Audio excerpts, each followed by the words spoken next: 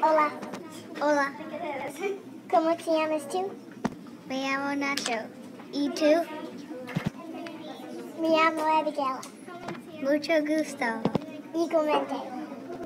¿Cómo estás tú? Muy bien, gracias. ¿Y tú? Así, así, gracias. Adiós. Adiós.